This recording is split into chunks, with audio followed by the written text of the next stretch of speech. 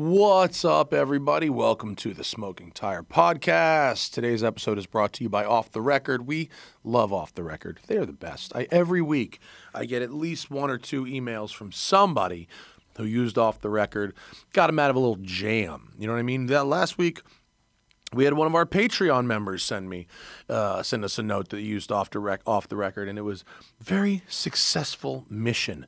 Off the record is a service that sets you up with a qualified attorney in the event that you get a moving violation. Could be a small one, could be a big one. The point is, you shouldn't plead guilty. You should get off the record. Go to offtherecord.com/slash TST or download the Off the Record app and use code TSTPOD. That's TST Pod. Get you 10% off all legal services with Off the Record. Man, don't plead guilty. Get that app, use our code, have it in your pocket, have it ready to go. That way, if you get pulled over, you're not going to freak out. You don't have to argue with the cop on the side of the road. You just call off the record and they get you sorted. Go to offtherecord.com slash TST or code TST pod on the Off the Record app. All right, guys, in this episode, Zach and I are rolling southbound to Laguna Beach, or Newport Beach is actually, in the Bentley, and uh, we thought it would be a good time to uh, do a little traffic podcasting. Uh, we're talking about all the new hypercars and resto modded cars we saw at the Quail. Uh, I review the McLaren Artura versus the 750S uh, for a road trip because I traded cars halfway through my Pebble Beach trip from one to the other. Uh, we saw the most ridiculous cars driving around Monterey, such a crazy place to be. And we talk about the best free or cheap things to do during Car Week, plus a little teaser about a car I bought myself. It's a road show on the Smoking Tire Podcast. Right. Deep carpet like doesn't make sense conceptually, but it does But it feel does. nice. yeah, it does feel nice. It's also, according to Charlie Agapiou, a wear item. I believe and that. originally, you're supposed to replace those mats every 10,000 miles, yeah. which doesn't surprise me at all. Uh, do you want to know how much they cost? Yeah, definitely. they are $1,500. From Bentley, I assume. Yeah. But if you go to the fabric district, I could probably You have could- the Habibis remake. Yes. yeah. But it is Yeah. nice. Let me It just is say there's nice. no WeatherTech version. No, definitely not. We almost, we were fucking this close to having a shoes off car. Yeah, I I get mean- it. I kind of want to take my shoes off, even It's- though shoes you have sh- been I here. mean, you should because it's a delight. it's like um, it's like uh, Die Hard, where you scrunch your feet in the carpet and, Yeah. and it gets rid of jet lag. Yes. I feel like this would solve that problem. It it's driving this car barefoot is really really nice.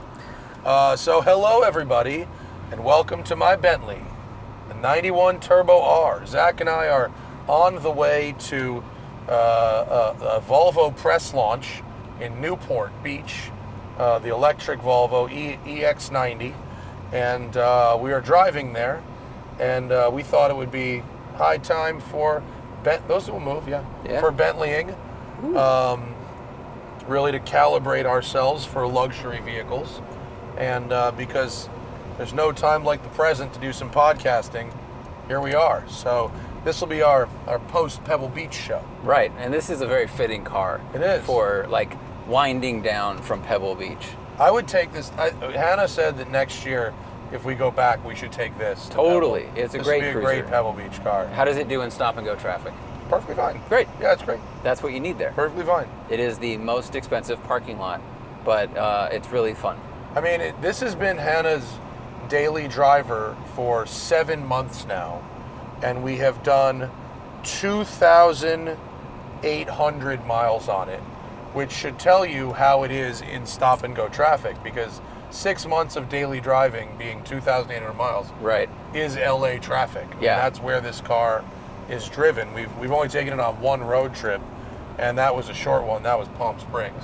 Yeah, for So- for normal people, I think six months is like six thousand miles, right? So Yeah, I mean, in, but in, in LA, you know, the average speed of travel is 18 miles an hour. So Well, here we measure it like airplanes. It's hours. Engine hours, You know, engine right. hours, or like a detective's car. there's probably an engine hours counter on this car somewhere.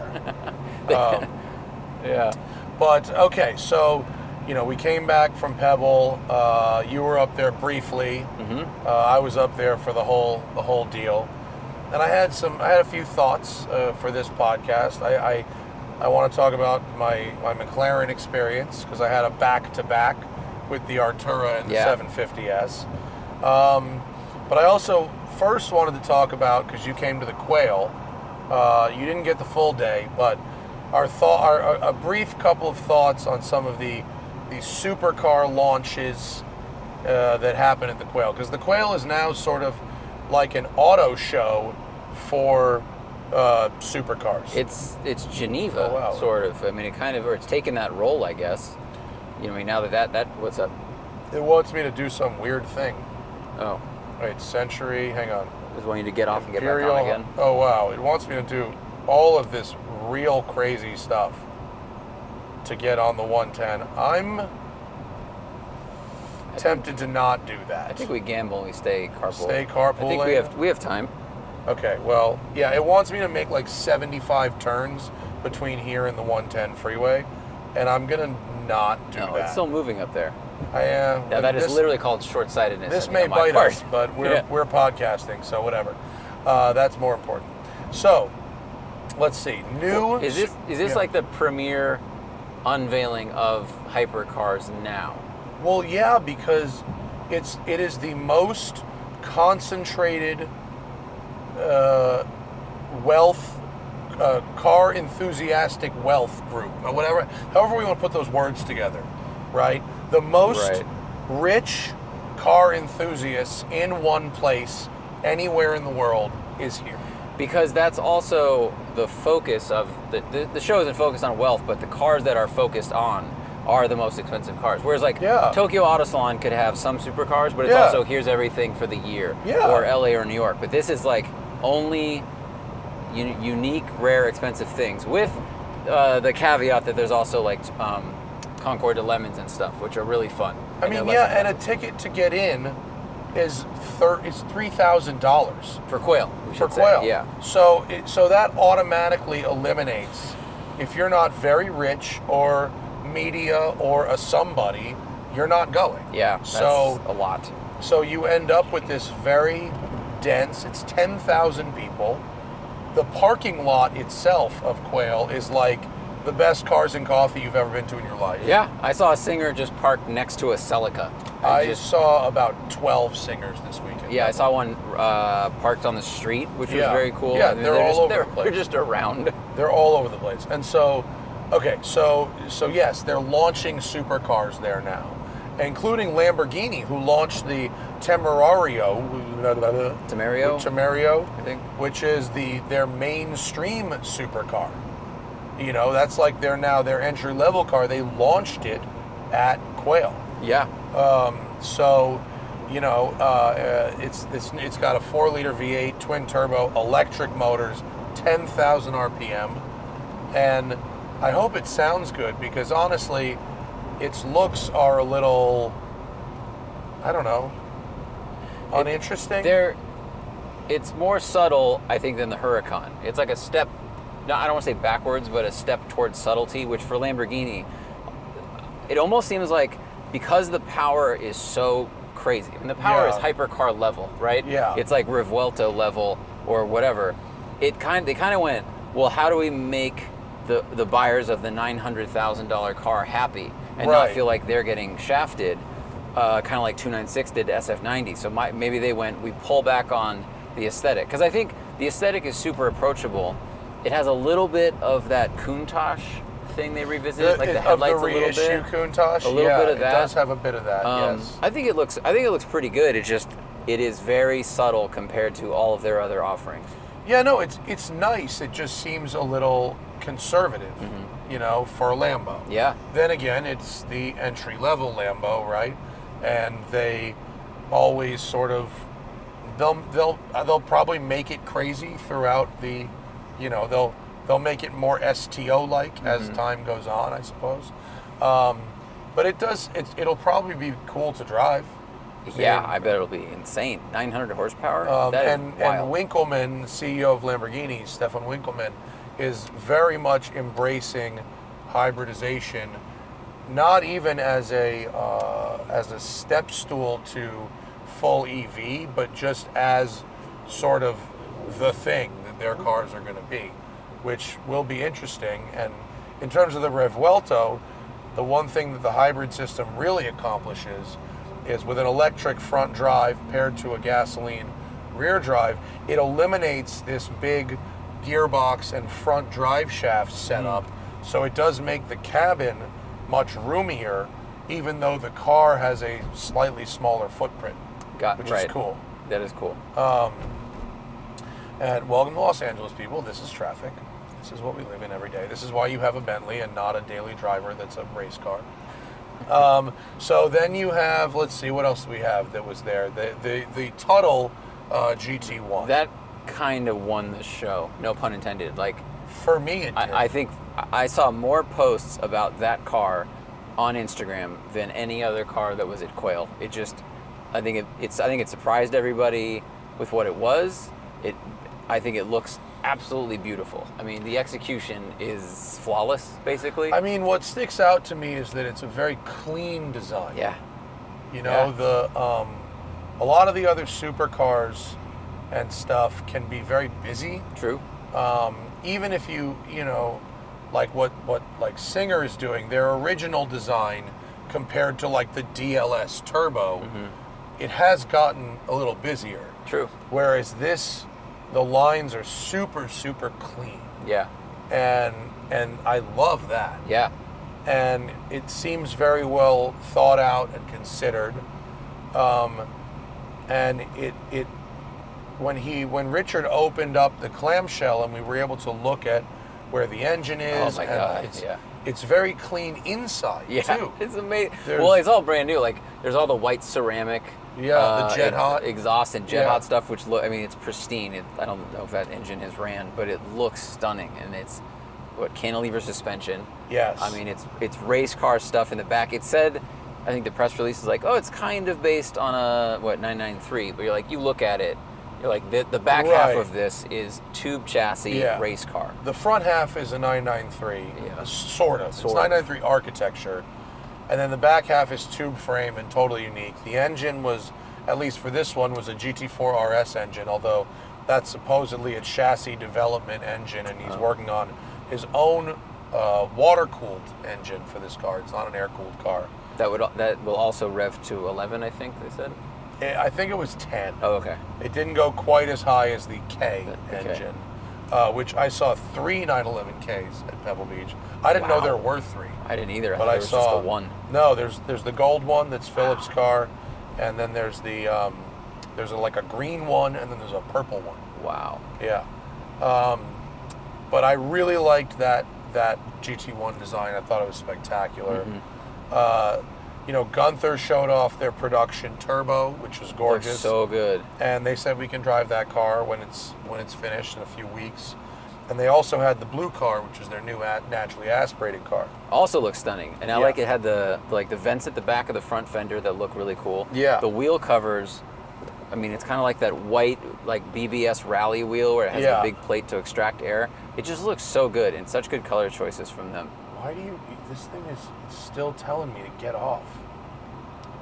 I mean, is traffic that bad? I'm, I mean, we're not You're in a hurry, so I'm not. I don't want to do this whole thing of. I don't need to save five minutes by, by right. getting off. And then get stressed at different left Yeah. left turns. Uh, I just don't want to have to pay attention. Yeah. I'd rather do this podcast than pay attention to the yeah. GPS. Uh, there's an accident on the 405 South, so uh, traffic will probably get worse. we'll get worse. Probably, but uh, that accident, I'll cut this out of the show so I can find it. Uh, in three miles, we will come to the accident, and then after that, it's green. Uh, road closed. That must Road be Road closed? No, no, no. That's I think that's Crenshaw. Okay. Yeah. I mean it's gonna get dark red as we move forward. So.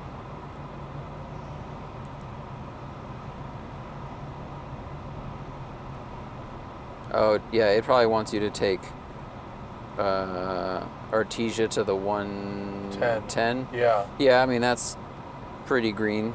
So I mean, it looks like it's like five minutes. to what? it looks like it's like a five minute difference if we stay on this or not. Oh, okay. Right now, yeah. Right now it says we're 12 minutes from the accident site. Yeah. So- So, this look, it's 103 if we get off, or 105 if we stay on. Oh, that's So I'm really just that's yeah. a two minute. Okay. That's sometimes like I appreciate Waze's Wazeness, but sometimes it's a little too much. Got You it. All right. mean?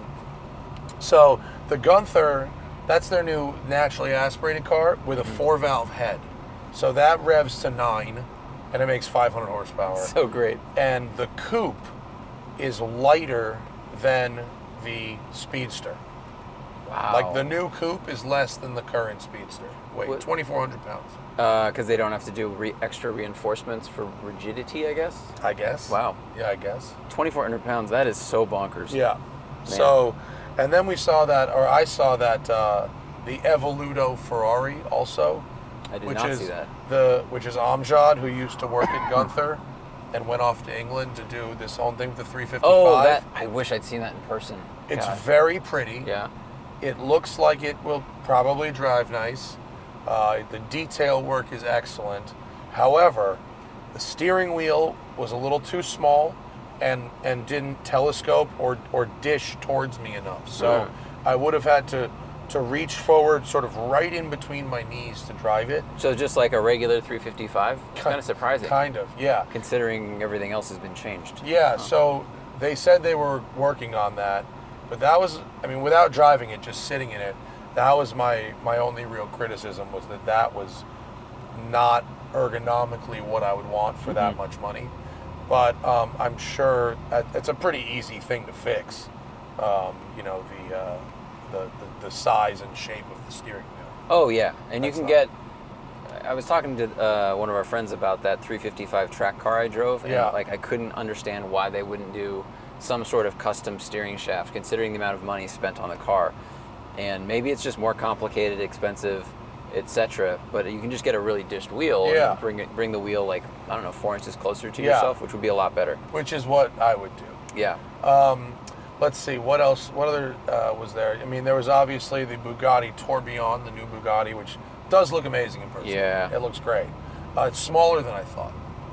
Uh, and then they had the the bodywork removed from a Chiron, which was also next to it, which is really cool Yeah. to see that carbon structure.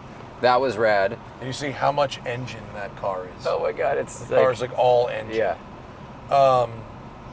Koenigsegg. What do they have? The G- the Jesko Attack, Yes. which is a new version of the Jesko, which ran it, which did a 124 at Laguna on Sunday, uh, beating the production car record set by the Senna.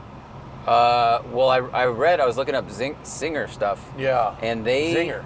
they beat, uh, and this was a year ago. They beat the Senna time by 2.2 seconds. Okay, so this was four seconds faster than the Senna. Whoa! So yeah, the Senna did a 28. This was a 24. Wow, Yeah, which is real fast. that's bananas. yeah. Because it was uh, what the 30th year of Koenigsegg, so they had like their anniversary party. So It's crazy I've to never think seen about. I do not think about life. Koenigsegg as a 30-year-old company at all.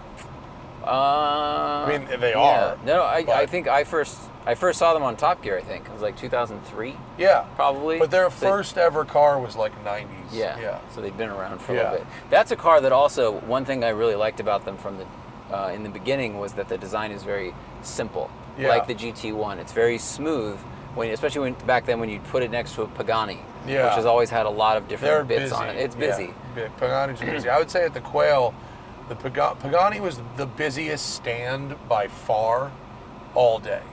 Um, and that could be because they're probably the cars that you're least likely to see around. Uh, the detail work on them is amazing. There was a lot of cars there. There was probably 10 Paganis on that stand. I saw one in the parking lot of Quail, like Yeah. like around the corner. It was like it hadn't bought a ticket. Yeah. So all its friends were at the show. I just it was in the corner by itself, away from nothing. Yeah. It was so funny. There was a bunch of Koenigsegg's in the show too, at least seven or eight. And I saw, I mean, as every year as I go to Pebble, it shifts more and more from a show about old cars to a show about hypercars. Hmm. And part of that is is the quail itself and the crowd that that draws, the, the hypercar consumer. people are taking delivery of their hypercars at Pebble. Wow, I didn't know Uh, that. Yeah, no, there were multiple, multiple brands delivering cars to customers at Pebble. One of my clients uh, at Westside took delivery of his Singer at Pebble, Wow. Um, and and I think that's sort of a thing. Um, It was the Quail. There were some other older cars there. There was like the Group B Rally section, which was That cool. was cool. I mean, there was vintage supercar Vintage also. supercar. There's some rad like Diablo. That PlayStation Viper was really rad. Yeah. Um, there's a 550 Maranello race car, but it was built by. It wasn't built by ProDrive. It was one of the other competitors. Yeah, But yeah, I mean, you're right. For the most part, I mean, the stuff that I think drew the most attention was, you know, here is the buffet of hypercars. yeah, So, which I think is why. I mean, someone asked us like, how do you go to Quail or sorry, go to Car Week for free? I don't think people should feel compelled to go to Quail if they can't really, really, really, really, really afford it. Because I saw, I was in traffic in front of a yellow Pagani. I saw multiple Koenigsegg's driving around Monterey. Like you'll see a lot of the stuff there, out and about, Yeah. which is s- shocking to say. Like the purple Diablo that uh, John Temerian and Curated sold Yeah, was literally in front of me in traffic next to a orange uh, GT3 RS 4.0. yeah. Like so, you can just you can get really lucky and see a lot of the Quail stuff. Well, there's and around. people lined up on Carmel Valley Road in the afternoon as you're leaving Quail. They're just there looking at stuff. I mean, and you can you can also, you know, let's let's forget forget Quail for a minute. But since you brought it up, the best free things to do that week. Um, for me, the number one is watch the tour, and the tour d'Elegance is is on Thursday. It's on uh, it goes from Pebble Beach Lodge all the way up 17 Mile Drive to Route One, and then it goes south to Big Sur, and then back. And people just post up, and I usually go to the more sort of southern end of it, um, by where the U-turn is, and. Uh, but there's people the whole way, every turnout. You know, they're on Bixby Bridge, they're in the restaurants, they're all over. And you not only will see the actual concourse cars that drive by, but like a bunch of other people, you know, take that as their opportunity to sort of like show off, um, you know, and, and cruise up and down uh, uh, Route 1 with a crowd.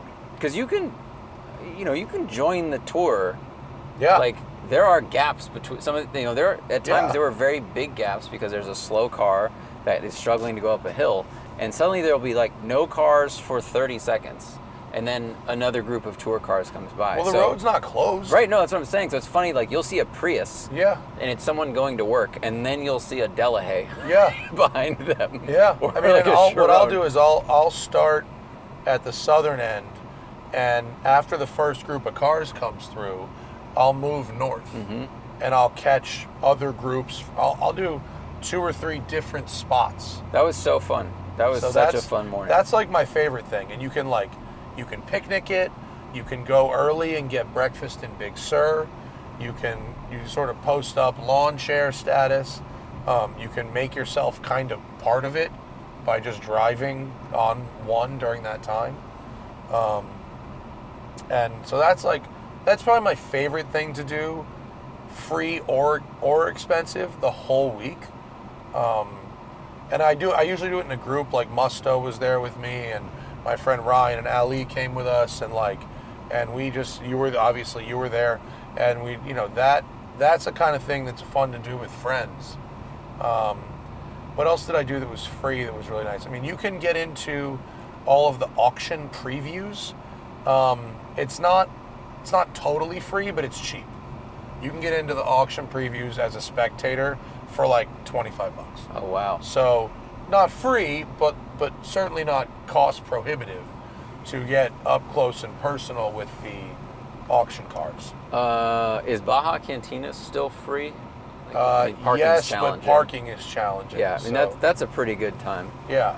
That's also Thursday's Baja Cantina. Uh, yes, Think so? I think so. I didn't go to that I went to the. Avance party, which I don't know how much tickets cost because I was invited, but it was less of a car there were like three cars there. It's Yeah. more of a social hang. It's Yeah. a it was a great vibe and an awesome location, and the tacos out of the truck they had were super good.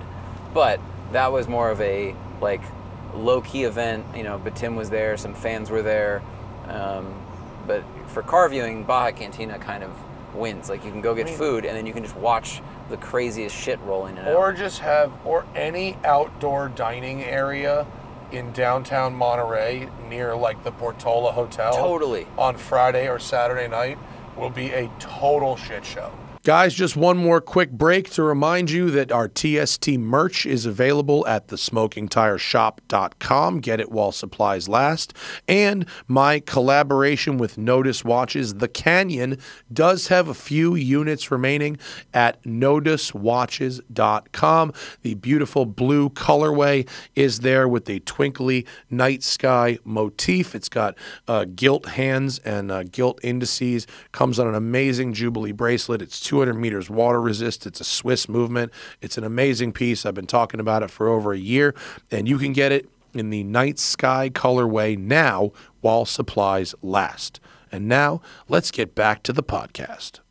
It'll be crazy. Well, Thursday, I don't know how well you were staying downtown, but Thursday there was there was two blocks that had been closed off for a Ferrari group, Oh, and then yeah. next to it were two blocks closed off for like some supercar group. Yeah. So there were literally two different car shows happening, like right around the corner from this great deli I went to. You can just walk around downtown Carmel or Monterey, and you'll see stuff street parked, but you'll also see these shows that have kind of taken over the downtown areas. They weren't there, I guess, a few years ago.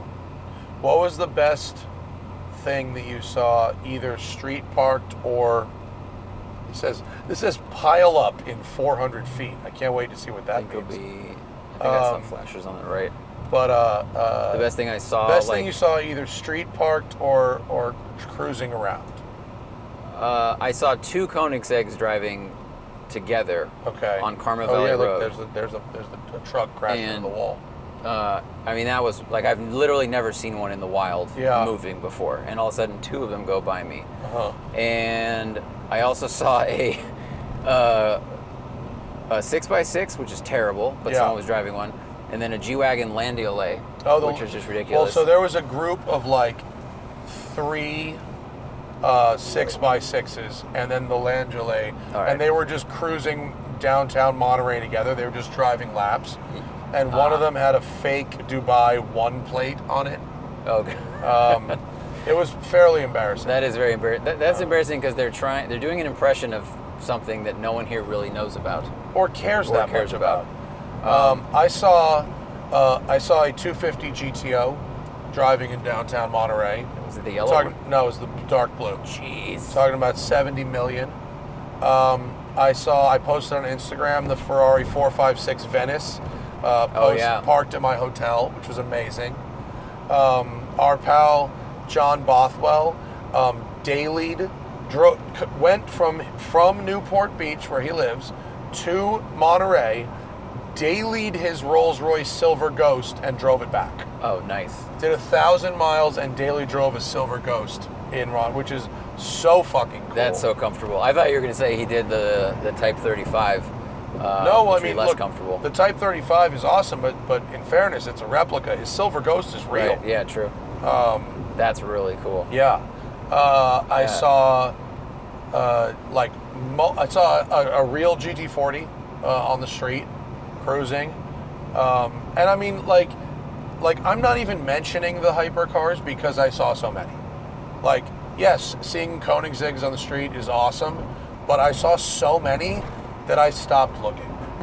um, I mean, and and if if I if I stopped looking at Koenigsegg's and Pagani's, like imagine like the number of four five eights and Oh, yeah. Aventadors and fucking McLarens and whatever was is so overwhelming that they don't even draw like for most people in our audience like the dopest car it's like when you're when someone is so amazing at high school sports and everyone tells them they're going to be a fucking superstar and then they get to like division 1 college and the whole fucking team is made up of the superstar from their high school and then you get to professional sports and the whole team is made of the superstar from the college you know what i mean It's like that. We're at the we're at the NBA, and it's all the superstars. Right, and, and uh, a 360 is the the basketball player who was really good in high school but never went on beyond that. Yeah. Yeah. I mean, it's it's just it's so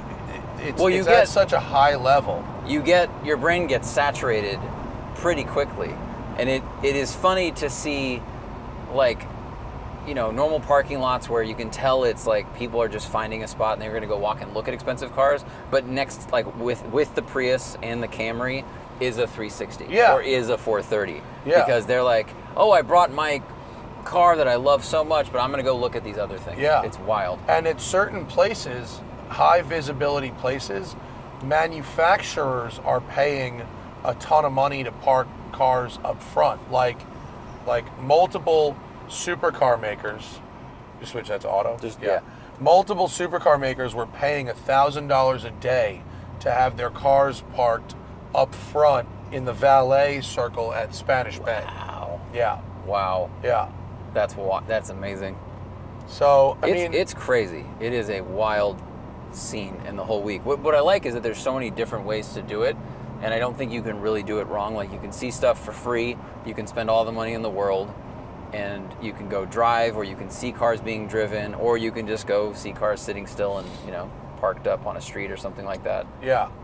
Uh, or you can sit outside the entrance to the Quail and the Concours and wait for me to come by, and I'll give you my pass, which I did to multiple people. I gave my pass to the Quail for a kid to a kid who was so nonchalant about putting it on his wrist and walking towards the entrance that the guards were like, "I saw, I just saw you putting that on," and kicked him out. It was a total waste. of No way. Yeah, yeah. Yeah. Wow. Uh, and shout out to the fan, the fan who did it right. Hannah and I were leaving the concours, and they and the guy came up to me with his girlfriend or wife. He said, "I'm we're, I'm a fan. I listen to the show, and and I know you've been here, and this is my first time being here, and you know I'm on a, I'm on a budget.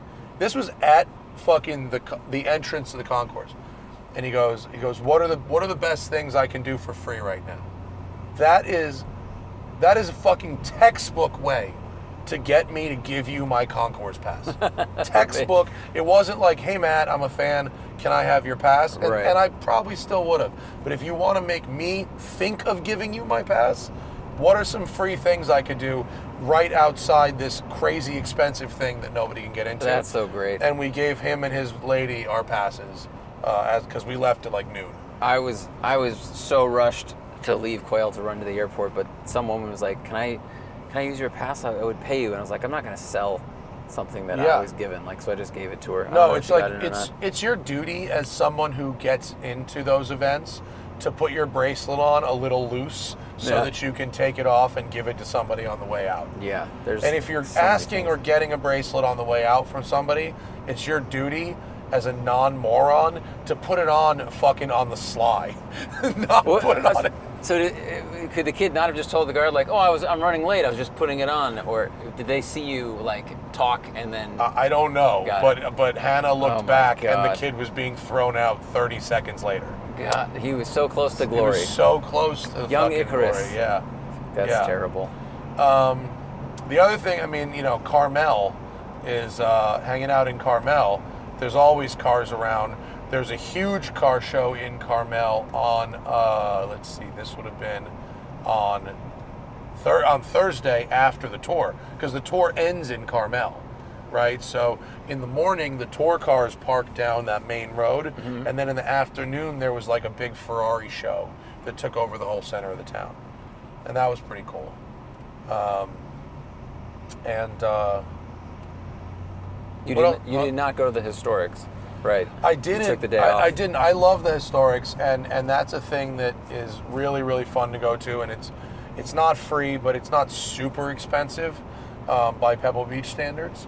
Um, you can just buy a regular spectator ticket, which is uh, uh, it's not it's not nothing, but it's it's a reasonable amount of money, and it is amazing to see those cars and and see some real heavy hitter racing drivers running. Yeah, them, you know. true. But I was doing Spike's podcast, which was at the same time, so I couldn't make both happen.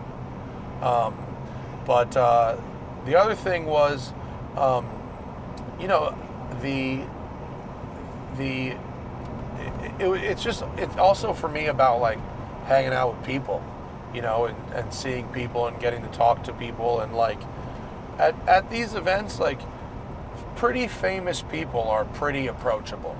You know, you can you can talk to Horacio Pagani and Christian von Koenigsegg and racing drivers. I you know I said hi to Emerson Fittipaldi. You know, like shit like that, and that's that I think is a is a cool opportunity to like say hello to folks like that. You know. It's true. I've been.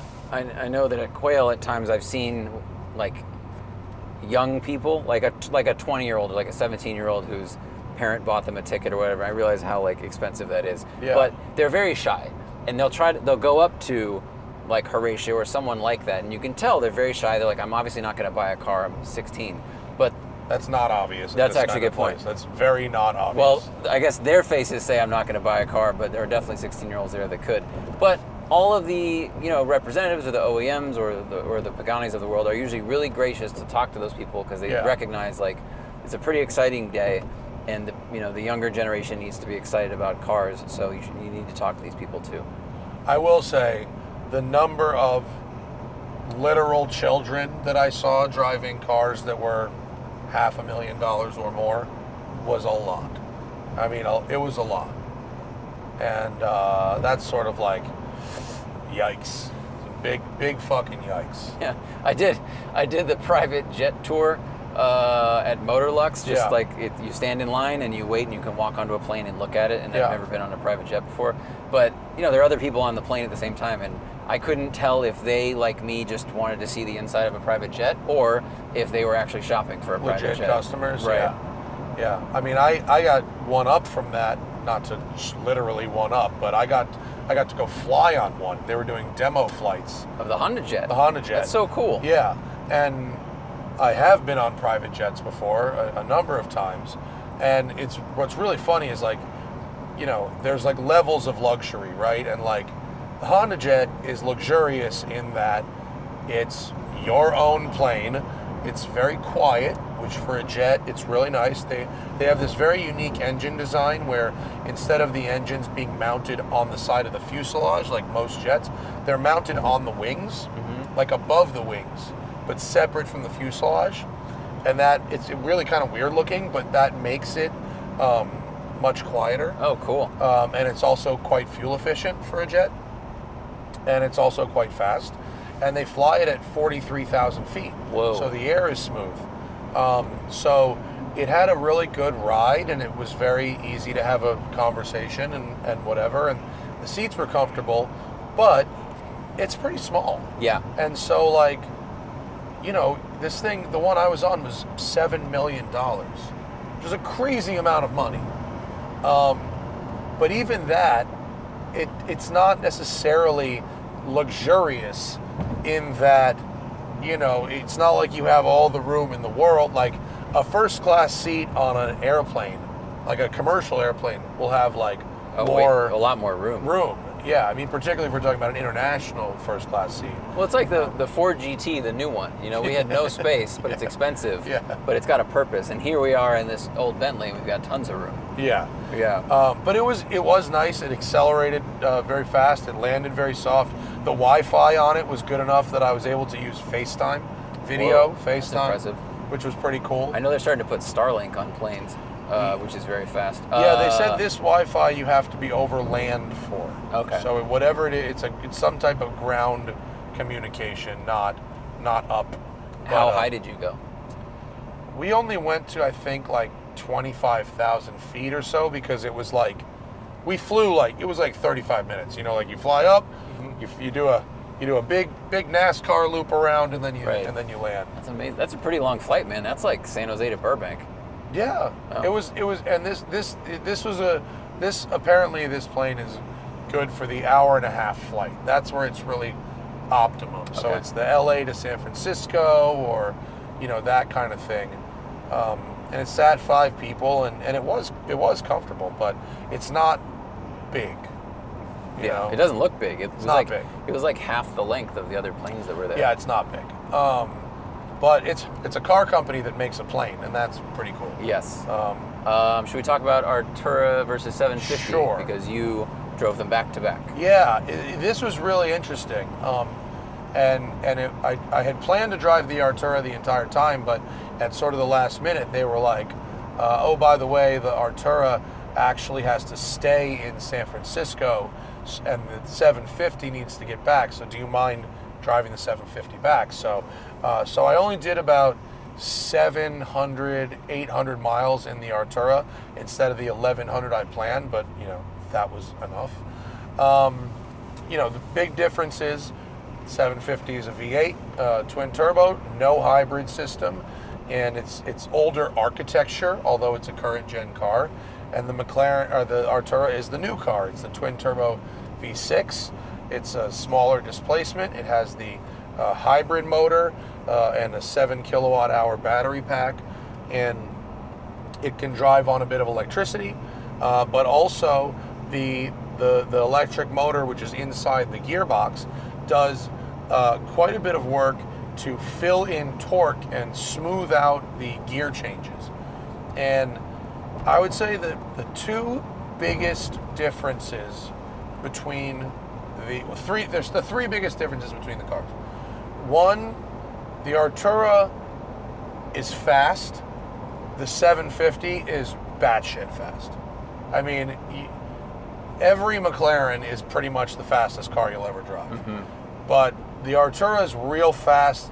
The 750 is back at that level of you're getting wheel spin in fourth gear. The 750 feels, or sorry, uh, I haven't no. When I drove the 765 and the 720, Yeah. they both felt underreported massively. Yeah, yeah. Whereas the Artura, which we drove on a week ago, Monday, felt right on the money with the power number. I Sure. didn't feel like I was getting more than they had advertised, and, Right. and that's a pretty exciting difference from McLaren. The Artura is very fast and very fun, but it, it doesn't have the crazy that the other ones have. Yeah. The other ones are like, Jesus Christ, like, Yeah. you know, they're, they're selling this to people. Uh, this is like so manic. Yeah, the, you know? the run towards redline as boost just gets stronger and stronger Yeah. is so wild on those cars. and the the sound, you know, the Artura makes a pleasant sound.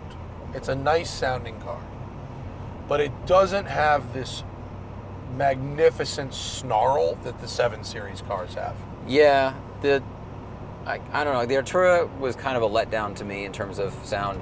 I think the 296 sounds better, and I didn't realize how much like Ferrari had done successfully with a V6 until driving the Artura. Right. Um, it's hard to make a V6 sound it's good. really hard, and, and and I always think like smaller is better, just make the sound tighter and smoother. Right. But the Artura was just kind of generic V6 sound, I think, and and whereas the 296 sounds a little bit like more musical. Yeah. And then of course the V8 is the V8. I mean, we know McLaren at idle sounds Yeah. awesome. The Bark is awesome. Overrun is cool. yeah. Yeah. But so so you've got the sound, you've got the, the crazy power, but the hybrid system is really helpful for changing the character of the gear changes. So like in comfort mode, the Artura's gearbox is so smooth. And it's it's ridiculously smooth. Whereas there is almost there really isn't any way to make the 750 as smooth as the Artura. Yeah. And And it should be said that the 750 and the 20 and stuff like they don't shift slowly. no, no, I it's mean, not about real speed. quick. It's about just pure smoothness. Like the Artura with the torque fill Mm-hmm. can be as smooth as like PDK, whereas the 720 or 750 does not get that smooth in any setting. Yeah. It's more aggressive in all settings. Right, because you're like you're in boost, in power band, you shift, Yeah. you drop just slightly out of it. Yes. And then like I mean the torque fill like fills in almost like a little pothole. Like Yeah. it just fills it out and that is a flat moment. Yeah. So here's what's something that's really interesting about the Artura. If you don't tell the car otherwise, it, it can discharge the high voltage battery to zero. Meaning, if you like you can manually toggle to in any of the modes for the battery to be in quote auto mm-hmm. or quote max, right? In any of the modes. If you put in track mode, it defaults to max. Okay? But in comfort or sport, you can choose auto or or or max, mm-hmm. right? Okay. So I was driving it in sport. And in sport, it holds it at about 40% charge. It won't get below that. It'll go it'll bounce between like 40 and 70% and sort of do its own thing. In comfort, it will use the battery until it gets to zero. And when it gets to zero, a light comes up on the dash that says switch car to max charge mode. It doesn't even make the choice itself. Mm, that's weird. And what's weird is when you when you discharge that battery, you lose torque fill and the transmission feels broken. Really? Like not broken broken, but you you you don't have the torque fill smoothing out those gear changes and it feels like the 750's gearbox Oh, okay. which is more harsher. Which, if you're used to these very smooth gear changes and then all of a sudden they go away, it feels like something's wrong with the car. Wow, I- I'd have to experience that because anytime I've driven a McLaren, the shifts are still fast, where so they feel smooth, like they didn't feel broken. It, it Right. felt quick and it felt. I mean, uh, broken the is the wrong so word because it doesn't feel traditionally broken, right? It changes gears, but the but it feels substantially less smooth. you realize how much work You yes, the hybrid system is doing. Yes. got it. Okay. Yeah, when you take it away, you realize that it's it was there doing a thing. Okay. And so actually, while I I still prefer the 750, I think that's the best supercar on sale right now. It's just the greatest.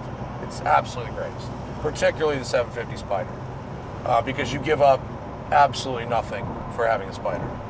Um, but at the specific task of going on a very long road trip, and these were seven-hour drives each way, the Artura is better. It's smoother. It has radar cruise control. Oh yeah. Uh, the comfort mode is a little more comfortable. Uh, the torque fill does make the gear changes a little smoother. Uh, at that specific task, the Artura, I think, was a little nicer. It's like as a grand touring.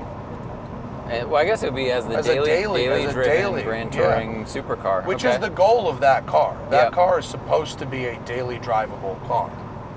Uh, I also think the seats were really good in the Artura. I mean, I, I drove the 720 Spider. I don't know for a couple of days uh, in Colorado a few years ago, and and it, it's it was totally livable, and that was all fine. But the seats were kind of a letdown, and they were like like Ferrari. Sometimes if you get the The basic cheaper seats seat, it's a very thin padding, Yeah. and it's a little bit hard to sit on after like an hour. And Yeah. the, um, the McLaren seats were kind of like that, but the Artura seats were really good. So, yes, I agree with that. Although this 750 had the comfort seats, and I do like those. Oh, okay. But the Artura had the, they're called like the club sport seats, and they're a really good balance because they're a one piece, uh, a one piece quote bucket, but they're nicely padded and they have adjustable lumbar, and so I do like that. And they do the rotation thing. So like they don't Yeah. lean back like a traditional seat because there's no pivot point. Yeah. But if you hit this button, basically rotates backwards. So like the, the bottom of the seat tilts up and the back of your seat goes back a little bit. Yeah. It's only like, I don't know, 10 degrees, but it definitely helps with the comfort. And it's, I think it's a really clever solution to having a fixed bucket that you can change the the angle of. Hannah wanted me to say that she preferred driving the Artura. Okay. Hannah did a bunch of driving. She drove halfway up and drove halfway home, and she drove around town a bunch. I had a lot of people that were like, like women were saying to Hannah, like, so great that you're driving the car. Like, none of these fucking men let their wives drive the car. And and they would say it to me too. Like, Wow. it's cool that she's driving. And I'm like, yeah, why wouldn't she be driving? And they're like, nobody lets their wife drive up here. And I'm like, I am not like that. I don't give, I don't give a fuck.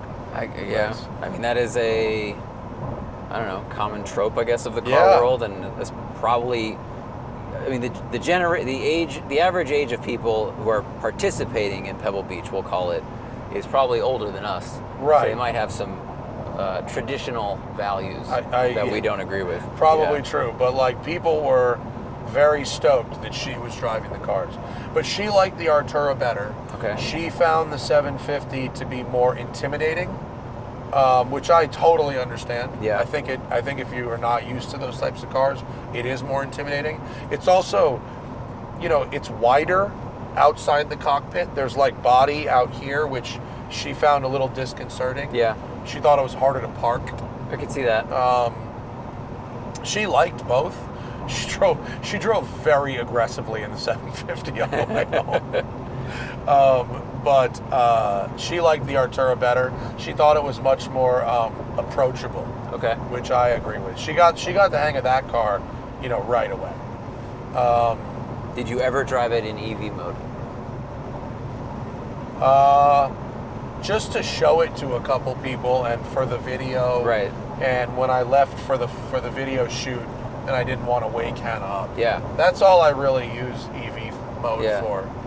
Um, but but I mean I, I really I really liked both. I think they're both really nice cars and I, I love driving McLarens. I love driving all McLarens. They just they drive they drive like I want a supercar to drive, like dynamically. They don't disappoint me in like any way. I totally agree. I completely agree. but it, that that was it was a, it was a wonderful trip. Um, we have a video uh, coming out. I guess when this podcast will be out, that video is up of our the Yes. our Artura Spider It review. will. That that vid- go check that out on the uh, on the YouTubes. Uh, both Zach and I driving our Artura Spider, and it's it is a very nice car. I mean, we're we're nitpicking a couple of little things that are secondary to the fact that it's fucking rad. Yeah. It's a Um, nice thing to operate. But uh, what else did I have? Was there something else I had on my list of things I wanted to talk about? It was, it was uh, our stuff from Quail, the best cars we saw driving around the street, the best free things to do. That and those two. Oh, here's another one Oh, I yeah, didn't add it. to the list. Unrelated to Pebble Beach at all. Fucking moving on. I get a text from our buddy Marco today, TLG Auto, Mm-hmm. uh, one of the great air-cooled Porsche mechanics, and a, and one of my very good friends. And he is at one of his vendors that is one of the best shops in LA. I, I wish I could plug him. I'm blanking on the name of it right now, unfortunately, but it's it's the only place in LA to get a very high-end alternator, starter motor, or generator rebuilt. Okay. All right.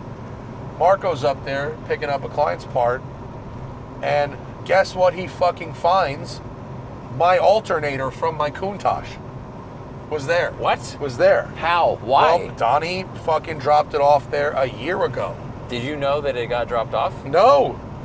but like, me, I mean, look, let me let me Wait, tell you how something. did What did Marco look up and go? I, I know that name on that tag, uh, or I, I I didn't I don't know exactly how he found it. He got talking to the guy, I think about Donnie because the guy did a lot of work for Donnie. Okay. He didn't know Donnie was in jail, oh boy, and so he they started talking about Donnie, and the guy's like, Donnie's in jail. Like I got have so a, I have a whole bunch of stuff from Donnie. Oh, God. And Marco said, Hey, do you have do you have Matt Farah's anything?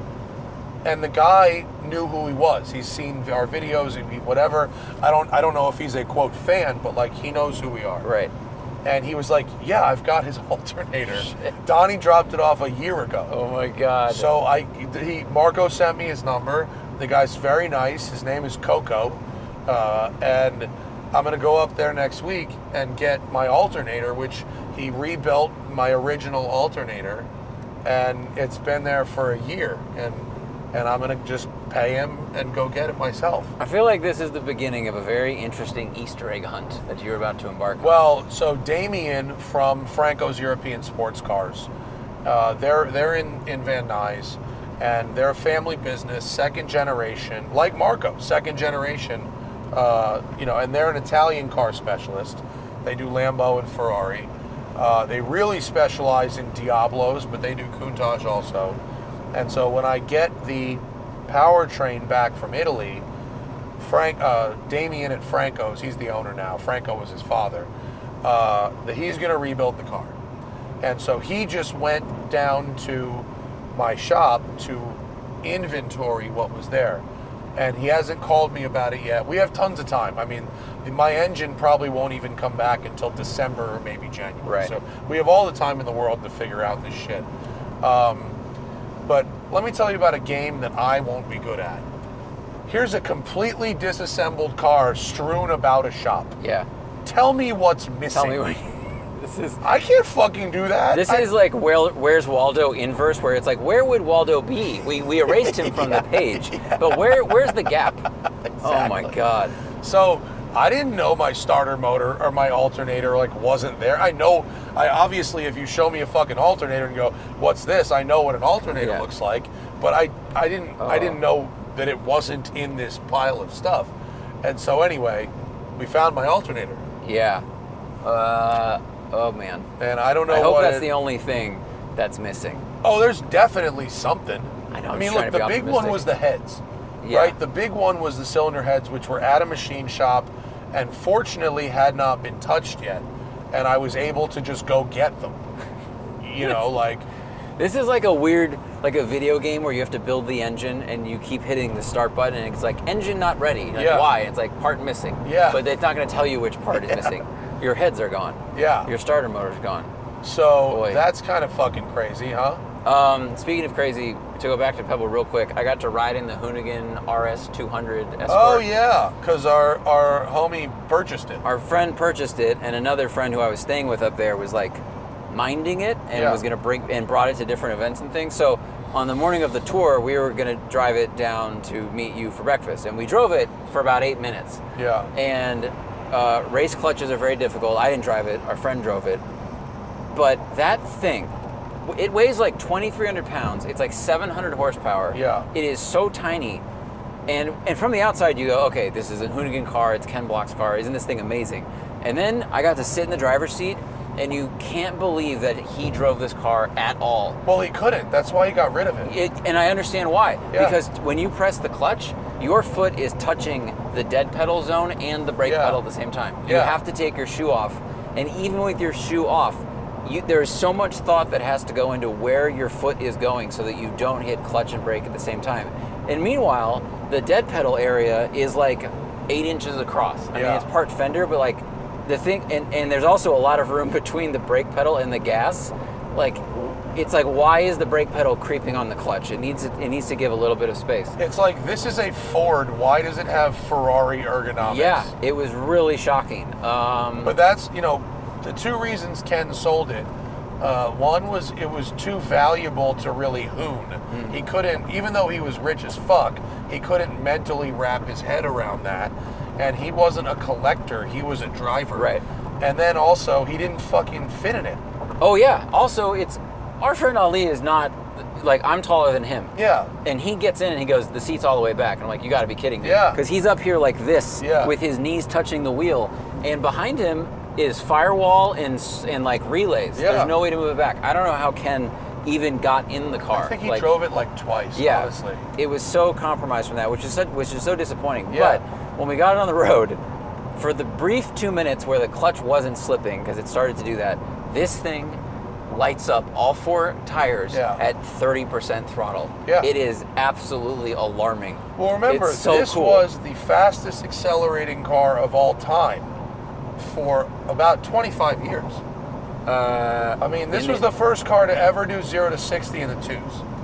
uh, yeah, but I think this has more power than they had back then. Yeah, yeah. This has 700 horsepower, and they used to have like in rally stage trim like 600. Six, yeah, So yeah. they've put they've turned this up even more.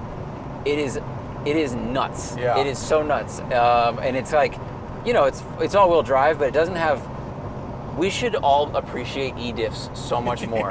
like the Lucid, right? Yeah. 1200 horsepower, we floor it. It goes fairly straight Yeah. until that 80 mile per hour mark where it does a little bit of wheel spin. This thing, at like 25, when you start dipping into the throttle and boost hits, just starts walking left and right up up the road because it doesn't. It's sending power to all the wheels, Yeah. and they're all just like start doing a burnout. It was. It was crazy, and, I, and for a moment I was disappointed that we had to turn around. And then I thought, you know what, it's probably a better You know idea. what? We might die. I think I had the the most you can experience safely on a public road in that thing. Speaking of very uncomfortable, uh, there was a, I put the photo on my Instagram, but Philip insisted I sit in the Stratos. Zero. Yeah. And I was like, no. And he's like, yes. And I was like, absolutely not. And he's like, absolutely yes. And Hannah was like, absolutely yes. And so I go to, you know, the windshield opens, right? And you climb in through the windshield. The cool. steering wheel bends out of the way like a BMW Isetta. It's so awesome. And, you know, there's one of these. This is it. This is the only one. And he goes, okay, you put your foot here and you and you like fall. And I'm wearing a suit, you know, so it's not like I'm maximally flexible, you know, anyway. Yeah. But um, if there was a fire, I'm dying in that car. I'm not getting out in time. Well, you like bonked your head I hit my you're head. too tall to Yeah. sit back into it. I yeah. think. And, and I didn't post the picture, but I should show you of when he closed the, the windshield. And you can't see me, you just see two knees up on the windshield. It's so fun. And then, uh, you know, obviously I'm doing the fat guy in a little car. An enormous crowd forms. Everybody's filming me. I mean, it must have been 50 people and everyone's filming. And then Philip opens the fucking thing again, and I look up and I have like a panic attack. And someone's gonna post a video on Instagram. And you're just gonna see me go, "Stop filming me! Close the door. Close the door till everybody leaves. Turn away! I can't do it." I think I hope that most of them were filming because they were just like, oh yeah, how do you get in and out of this I'm crazy sh- spaceship? I don't think anybody was ill-intentioned, but I could I could not handle. I get it. All of these people filming me about to do the most awkward thing I could possibly do. Yeah, it's weird. It's like and then he won two trophies. Yeah, it's a, such an amazing looking car. Yeah. Oh my god! But it's like it's like climbing out of a like a cellar in Oklahoma. It's like the door is almost flat. Well, like you want to talk about a fucking tastemaker. This guy enters. There's there, there was a the wedge class, Yeah. right? But the wedge class was actually divided into two classes, and I don't. I, I don't remember what separated them. What I don't remember the exact difference in the classes, but there were two wedge classes. Okay. Might have been a date or something like that, but he fucking won both. The Stratos Zero That's won ridiculous. one of them, and the Aston Bulldog won the other Well, one. what else was And in the both his competition cars. with? I mean, those are the wedgiest things.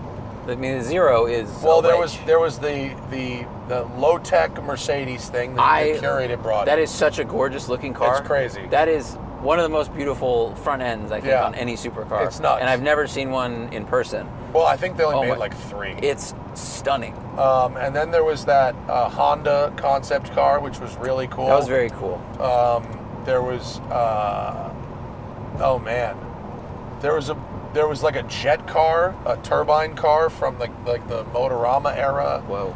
There was uh, a, a Chrysler concept car, some Chrysler sort of Ghia concept car, and, and a few other uh, other things. Um, there was a lot. There was that Ford Probe that unfortunately burned Oh, yeah. in the trailer.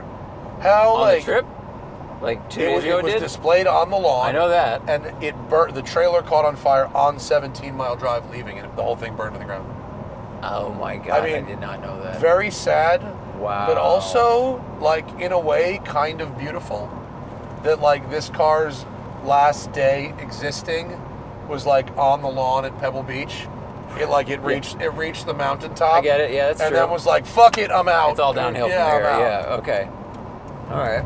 Man, that's uh, that was uh, Matt Hardigree's favorite car of the show. I Yeah. just- I just remember he was Yeah, like, they "I love this thing," They filmed a thing for Autopian with it. and then it lit itself on fire. It was also Hannah's favorite car, which is why I had a picture of it. Wow. And I was like, take a picture of this. um, So, I it was it was other than the car catching on fire, it was a great, great uh, time. It's it's always a lot. I was so tired. Yeah. I slept probably ten hours uh, uh, when I got home, and I slept I slept halfway home in the McLaren when Hannah was driving. I slept the entire way. yeah. and uh, and then I slept like ten hours. My voice is still fucked, but it's just it's so nice to see people. And Hannah said one of the things that she found so interesting. You know, she doesn't.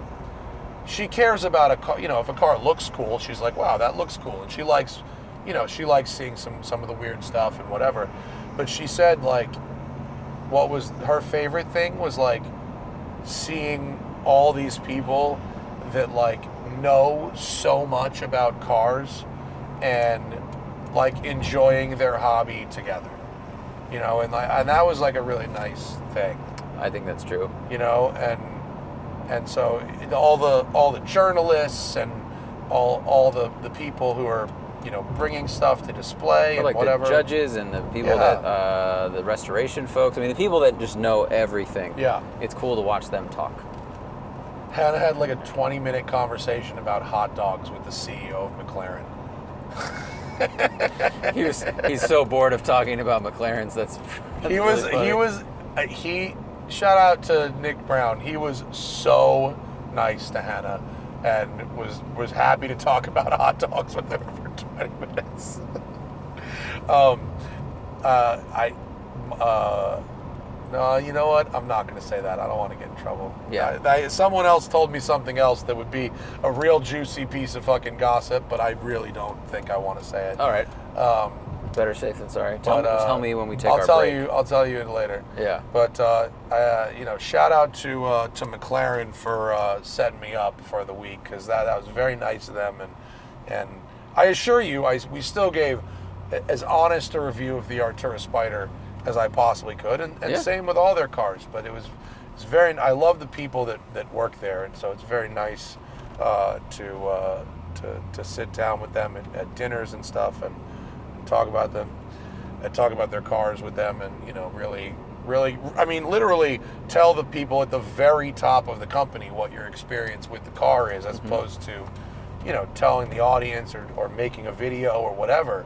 It's really a a treat to be able to tell the ceo you know here's what i loved and and here's what we could use some work on. And and we were talking me and Michael Leiters who's the global ceo nick brown is the north american ceo we talked to i talked with Michael Leiters about about the allocate about the uh, the addiction to allocations Oh. as he was talking about why why German guys why do people buy these cars they don't even want them it's like well you you know you want to buy the next one and you get hooked on allocations Totally. right I just put up a new video, a comedy thing I did with Michael Gideon about uh, the Porsche ST allocation. Oh, really? Yeah, I put it on Instagram, Okay. and the response was so fast. Everyone's like, "Yup, like here's my story, or here's my friend's story, or yes, like why is this the world we live in? Like you got to buy these other things Yeah. before you can buy the one you actually want." Okay, so those watching the video may notice we've gotten off the highway and we have to make a stop, Zach. Yeah. On the way to the Volvo launch, we have to make a stop because because I have bought a car. I'm laughing. I mean, you know, like Matt tells me he bought a car yesterday, and I start laughing like I am. And I was like, anytime Matt has ever said I'm done buying cars for a while, my bullshit meter goes Right. off, and I'm like, it's just a matter of time. and we're here. Yeah. This is this is this is where now we're not taking delivery of a car. Right. What I'm doing right now is putting a deposit, 50% deposit on a car. And so we're going to go inside and I'm going to hand over a check and uh, and then we will come back uh, We'll do after the Q&A. after these minutes, and it will be like I never left. But we will be we will do the Q and A for the last half hour to our press launch in Newport. When we get back in the car, you're going to be poorer. I will, but I'll be getting into a Bentley, so not that much poorer. All right, these are questions from our Patreon members. Uh, if you want to join our Patreon, go to patreon.com slash the smoking tire podcast. You can get uh, episodes early, episodes ad free, and watch episodes live. All right, first, Dan M says, Car Week question Are BMW kids the junior Lambros? yes, I mean they're not always kids. There's definitely some BMW adults that are doing those types of driving. I mean, it's like it's the Burble Tune Yep. Nationals, right? Yeah. That's what it's. It's about how much noise can your car make while not going very fast. Yeah, and I would say that that behavior is, I don't see Ferraris doing that very often. It's Lambos, Yeah. it's BMWs, and then Yeah, I mean, uh, uh, G- sometimes G37s. McLarens, but yeah, That's true. Like, Yeah, that's true. There is there is some McLarening, yeah. By the way, like sidebar, if you are watching the video version of this podcast and you know where we just were, don't ruin it for everybody. I'll just stay on this camera. Yeah. Until we leave. So, cause but some people will be able to figure that out. But like, don't ruin it for everybody. Is all I'm saying. Keep Um, it keep it fun. Because we're gonna have a big reveal eventually. Well, because yeah, I mean it's a, it's exciting. It's it's a new car, but like, you don't know what it is. Right. They don't. Just say it. Uh, Michael Cosgrove, as someone with experience driving Laguna Seca, what are our thoughts on the Koenigsegg Jesko attack setting the record? Is it simply a factor of horsepower, or is this a fully fleshed out performance car? That is a fleshed out. I mean, it's a fleshed out performance car as far as like one lap goes. I mean, I don't know what happens on lap 30. Right. You know, it might heat soak like crazy. It probably doesn't, but um, and I'm guessing it whatever power settings it had were probably turned up to kill. But like, you don't do a 24 without being able to stop and turn Right. like it's supposed to. I mean, the, the Senna is fully fleshed out, to Yeah. use his term.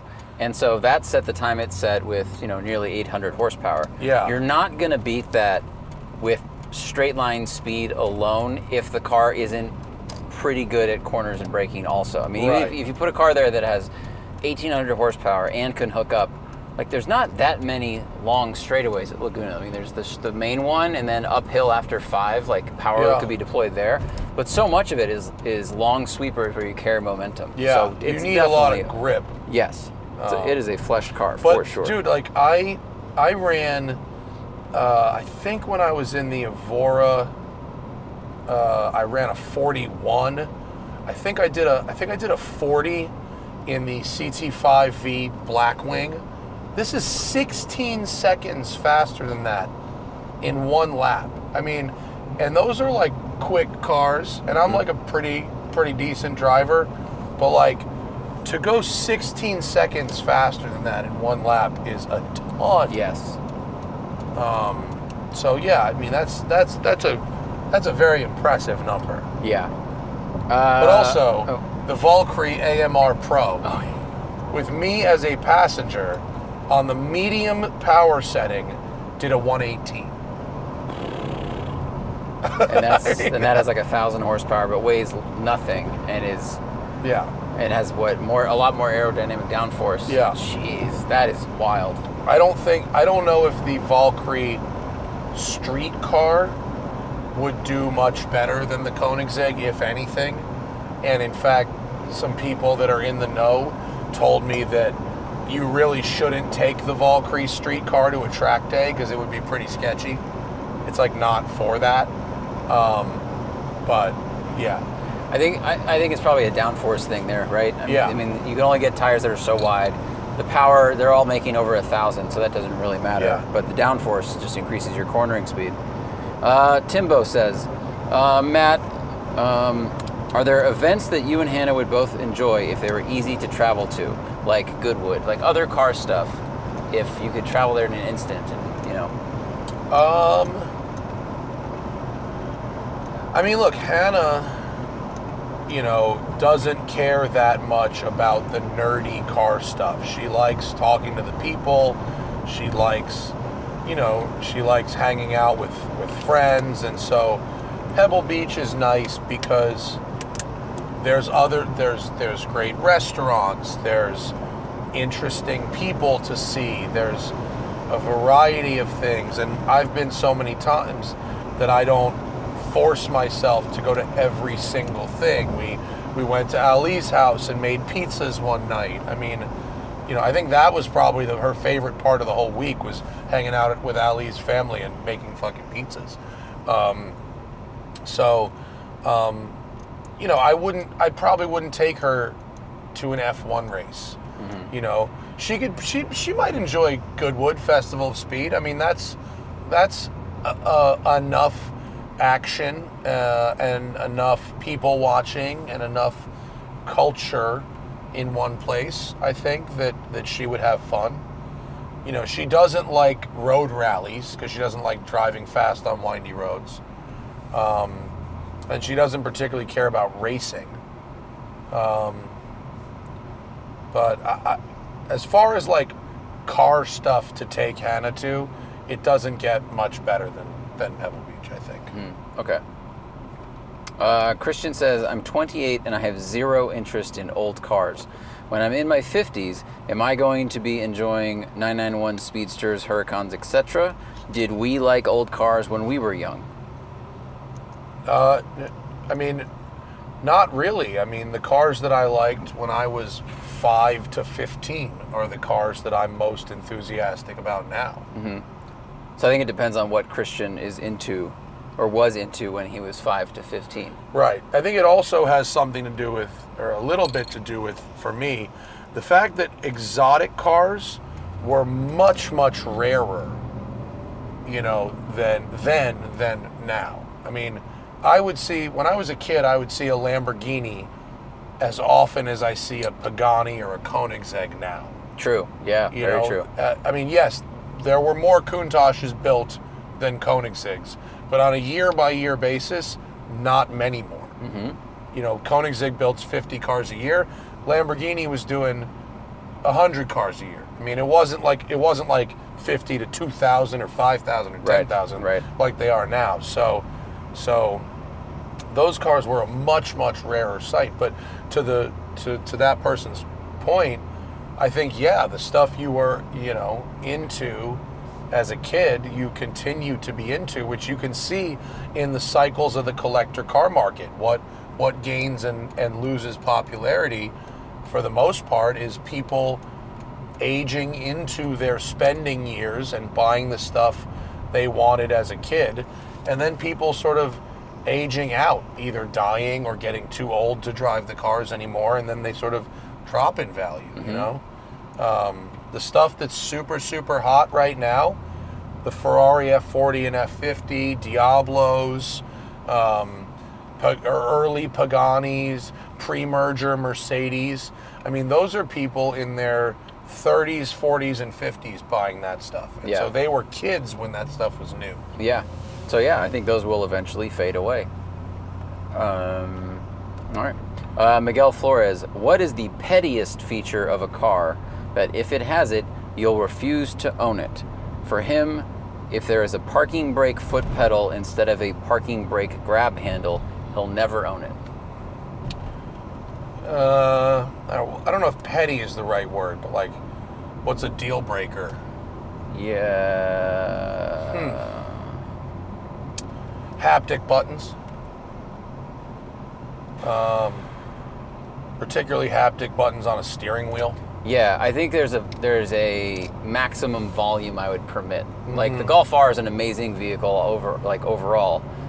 And if the haptic buttons were only on the HVAC stuff, I could probably live with it if I can control things with the steering wheel normally. But like, you know, not that I have the money, but like a 296 or a Roma or any, you know, any Yeah. of those right now, it's just nothing but haptic buttons and it makes every interaction with the car other than steering difficult. Yeah. Um, yeah, I, a CVT.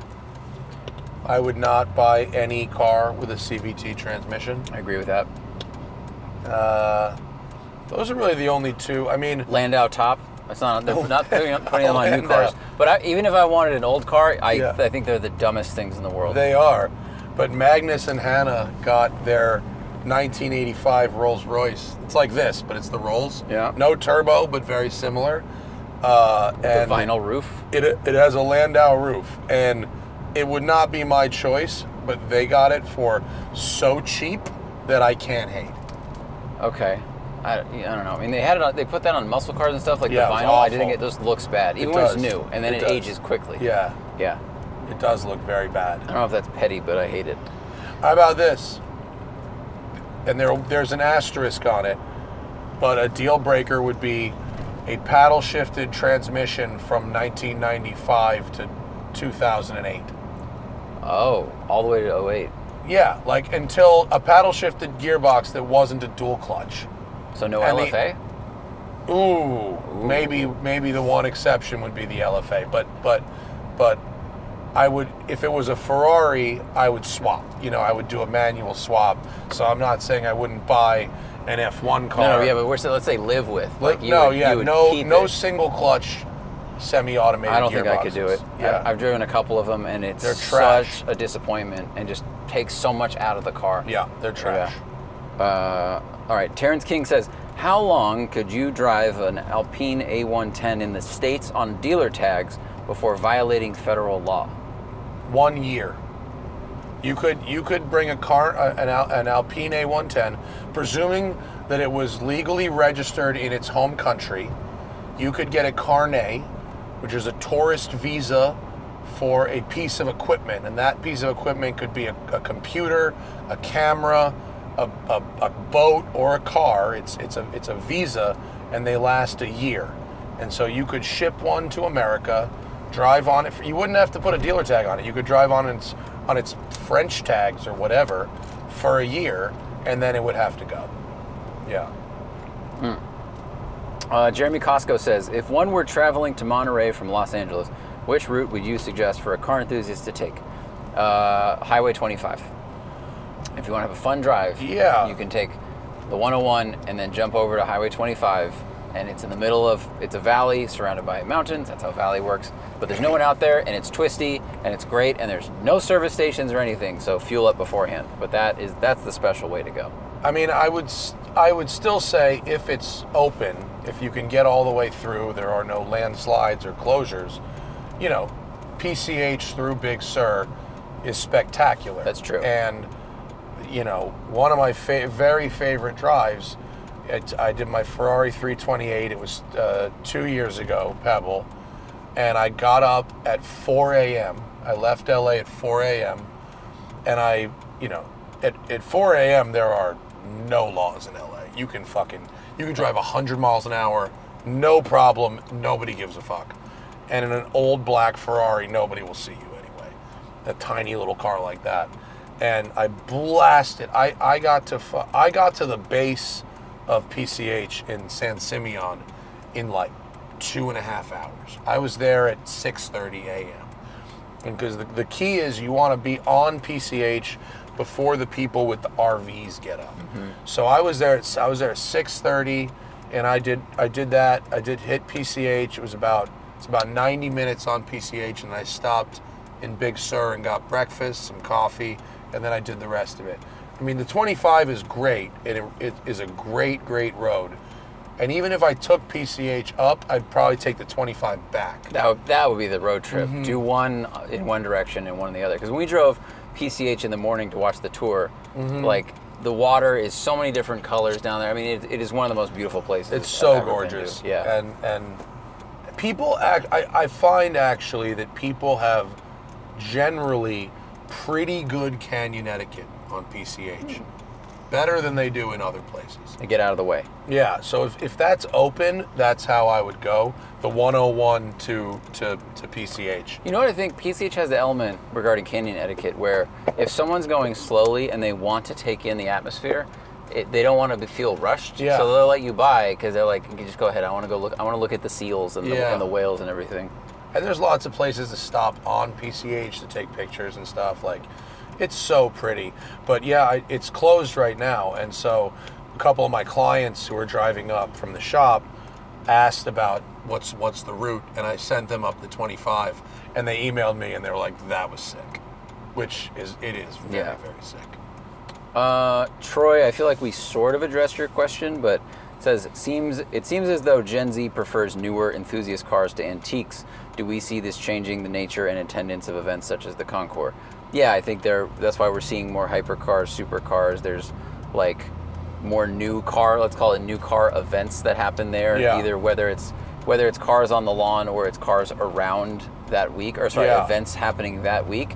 There's a lot more attractions for people that are into new stuff than there was, I don't know, 10, especially 20 years ago. Totally. And the and you know, Instagram and car spotters and Instagram influencers mm-hmm. and you know, very new money buyers have a lot to do with that. You know, very new money buyers aren't buying Ferrari Lussos and Miuras. They're buying, you know, Paganis and Koenigseggs and Aventadors and stuff like that. Yeah. Part of that is because they want stuff they can reliably drive. You know, stuff with air conditioning and, and whatever. But part of it is that's what they saw when they were six Yeah. years old and they Yeah. thought was cool. Yeah, that too. Um, Colin S says uh, a lot of headlines and enthusiasts focus on the negative of new cars, such as they're heavy, they're, there's no manual transmission, etc. What are some of the positive steps the automotive market is making for enthusiast cars? Uh, well, new Bentleys have nice cup holders, and this has none. Well, they also handle really This- well, yeah. which is incredible. This car has five ashtrays and zero cup holders. Um, Which, uh, I mean, look, new cars are safe, they're efficient.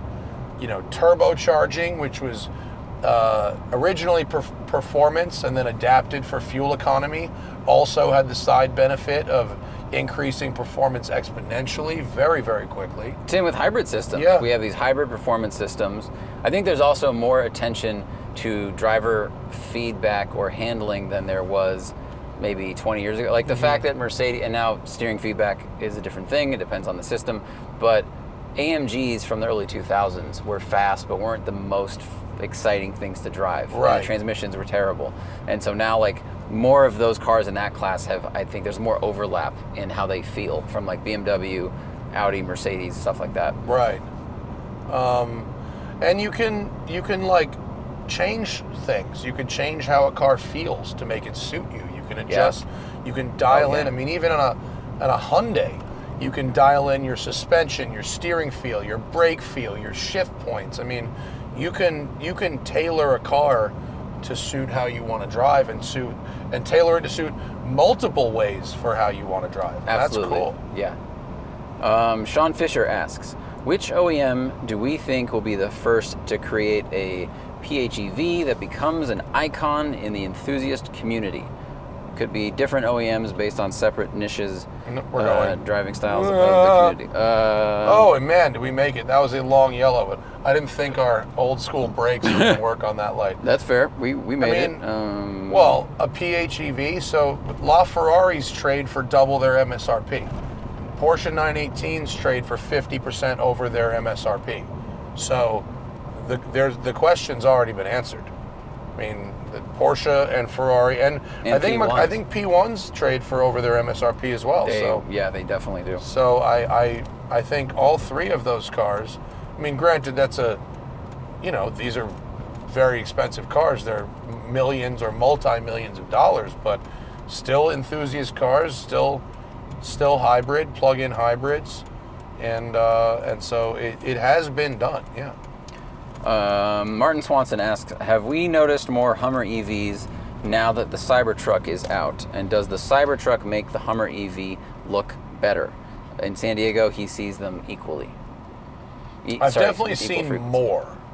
I'm, I'm starting to see some around, particularly the SUV. Yeah. which I think is better looking and a little better proportioned than the truck, which looks awkwardly long. Yeah, I only I only saw one in the wild at Car Week, and I drove by a Chevy dealership recently that had uh, like eight of them on the lot, Yeah. which I was I think I don't know it'd be speculation. I just know they had a lot of deli- um, issues with the Ultium stuff, and so deliveries were delayed a lot. So it's possible that people cancel their orders, but they seem to be less popular than Cybertrucks. Uh, yeah, I definitely I see probably twenty percent as many Hummers as Cybertrucks. Maybe I think we saw maybe even ten percent. Four Cybertrucks on this drive on the way down. Yeah. and I haven't seen a Hummer. So I see I see between five and ten Cybertrucks a day. yeah. So, Um, and when you start seeing that many, boy, do you realize how dumb they are. yeah. when they stop being wow that's unique and they're so big. yeah they're dumb yeah Uh, uh, Chappie asks, uh, he recently borrowed a friend's Outback. Really liked it, but it had a dumb CVT in it. Um, why would someone? Why did Subaru go with a CVT rather than a decent automatic?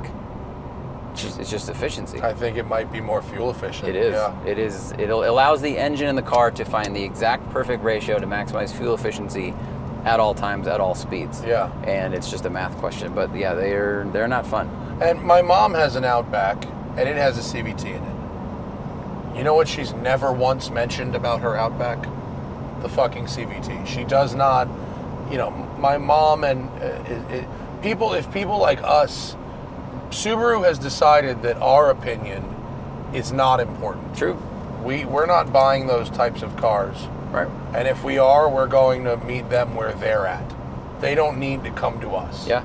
We've we've done that math a whole bunch with Yeah. Subaru, and they'd rather sell Foresters to our parents than STIs to us. And uh, I'm trying to recall from when Sarah and I were shopping for cars and we went to the Subi dealership, but at the time, they didn't have any hybrids on sale. Like they have to do everything they can to maximize the fuel efficiency with the systems they have. Yeah. Because they all have full time. Like, look, here's a Crosstrek. Like they all have full time all wheel drive. The en- the boxer engine.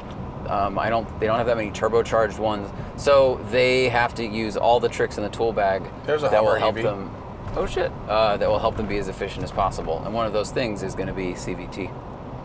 Um, Anthony L says you have a, you have two hundred thousand dollars to buy a car that fits your life at this moment. What do you choose? I mean, if you, that's a lot of money. I think I would get the last gen GTS with a manual.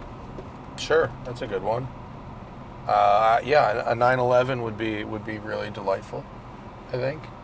But if I was buying a new car right now, it wouldn't be a sports car. It would be, would be a daily. So I probably would get Panamera Turbo Hybrid wagon, Sport Turismo. That would be all right. Mm-hmm. A little GT3 behind us there, and GT Silver touring. Um, Ryan asks, "What's our take on the Revology cars?" So, full disclosure, uh, I store their press fleet cars at Westside. So, even though they don't pay me to talk about them, they do pay me to park them every month. Uh, I am, although I haven't driven one yet, other than around the block, I'm very impressed with the build quality. Uh, the door slam on them is like a fucking G wagon. I've never been around or seen any muscle car with a tighter door slam than that Revology car. Um, we're gonna make a film with one as soon as we get a manual. Yeah. They have we for the last four months we've been storing their their demo cars and both have been automatics. And so as soon as we have a manual to film, um, which they keep telling me is coming, uh, we will film it.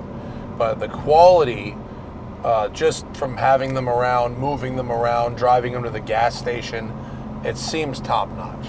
So um, I like them. Nice. Um, Ivan Capote asks, "What cars from this generation of 2010s and up do we think will be on the lawn at Pebble? Not because they add value, but because they're cool." This is tough because I think the lawn cars tend to be very rare and like like cool cars today, like your Boxer Spider is awesome, but they're making thousands of No, them, right? it's it's They need to be coach built stuff. Yeah, It's those those one-off Ferraris that they build for like Eric Clapton. like SP3. Yeah, well, SP3, but also the the the Ferrari like whatever it is, Special Wishes, where they they'll take a a 458 and make it look like a 512 boxer, like that kind of stuff. Right. The Rolls Rolls Royce boat tail, like they made, like Jay Z bought one. You know, it's it's it's that coach building stuff um, that that I think will be really what we, which is Yeah. which is by the way the stuff that you see on the lawn from like the Gilded era. Totally. That's coach built shit too. Yeah, You know, or even from the 50s. It's not a you're not seeing a Chrysler 300. You're seeing the Chrysler Ghia concept and they built four. right, So, right. It has to be something like that.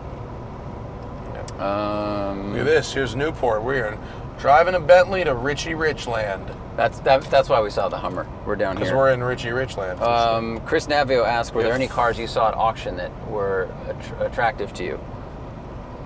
Yes, Hannah very much wanted us to bid on a BMW Isetta 600. Oh, cool. Which is the Isetta that has the back seat. That would've been It's not the two door. It's I would say two door, but it's it's a three door. So it has the one front opening, and then it has regular doors in the back and a regular back seat. Okay. And um, we didn't bid on it. I I we we once we once I fell in love with this other car, that was sort of moot. Um, but we did make a new friend at Pebble that has three Isetta 600s. And he says that we are more than welcome to come to his place and roll around in one of those. Nice. Which I think that's kind of where I'm at. I don't think I want to own an Isetta Right. 600. You want to have a day in one. I want to have a day in one. Yeah, yes. In, a, uh, ni- in a nice place with good weather. One of the employees of Cars and Bids owns a 2CV, and I was like, Oh, I- yeah. I wrote on the Instagram, I was like, I want to drive that thing, and they emailed me like, come drive it. It's like that's I want one day. Yeah. I don't want to own the thing. Um, all right, we'll speed run these. Uh, Alejandro says, "What are good brands of car covers for a car that's being stored not in direct sunlight? What do you use at?" Uh, I mean, California car cover is good, but they're expensive. Covercraft is pretty good too. Um, you know, you want something soft. It's like if it's stored indoors, it should feel like a like a Lululemon fleece. You know, that's that's what we use. Uh, Jay Fritz, you get to interview any person, dead or alive, during a drive in any car. What combo would you choose? Oh, Enzo Ferrari and an F40, ooh.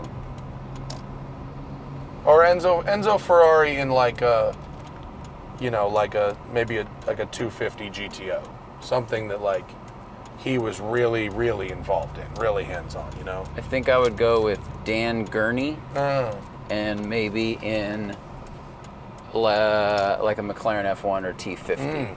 Well, he probably rode in a McLaren F1, so maybe I don't know something like T50. I wouldn't pick him up in a in an Italian car. Um, we did that one, and oh, last one. With high-end watches like AP, Patek, Rolex making complications for the sake of complications, how have they not made a watch with a built-in GPS tracker since theft is a possibility? there's no such thing as a mechanical GPS tracker. That's like not a thing. Right, it has to be electronic. Yeah. Did they not come with that built in? Maybe that's what he's talking about. Uh, I mean, I Rapide, think, the I most think useless that, I think it defeats the purpose. Think we can self park or should I valet? Either way, that's our show. We're here. We're driving electric Volvos, and uh, thank you to our patrons for their excellent questions. I think I'll just valet, and uh, we'll see you all later. Bye.